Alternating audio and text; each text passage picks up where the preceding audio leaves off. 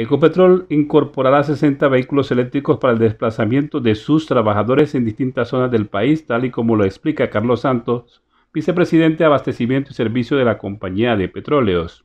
Ecopetrol incorporará 60 vehículos eléctricos a su flota durante este año 2021.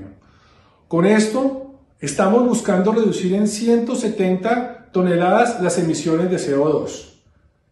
Esta incorporación de vehículos hace parte del plan de movilidad sostenible que tenemos como grupo empresarial, en donde tendremos vehículos eléctricos, vehículos a gas y otras alternativas de movilidad sostenible que le permitan a nuestros empleados poder reducir la huella de carbono. Los primeros 23 carros eléctricos ya entraron en operación en las instalaciones de la compañía en Barranca Bermeja, Cartagena y Neiva.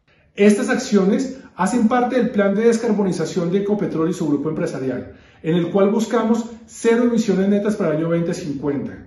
Con esto estamos dinamizando y trabajando en la transición energética. En el segundo semestre de 2021 y en el segundo semestre de 2022 se sumarán otros 37 vehículos entre automóviles y buses y además se habilitarán estaciones de carga eléctrica en las instalaciones de Ecopetrol.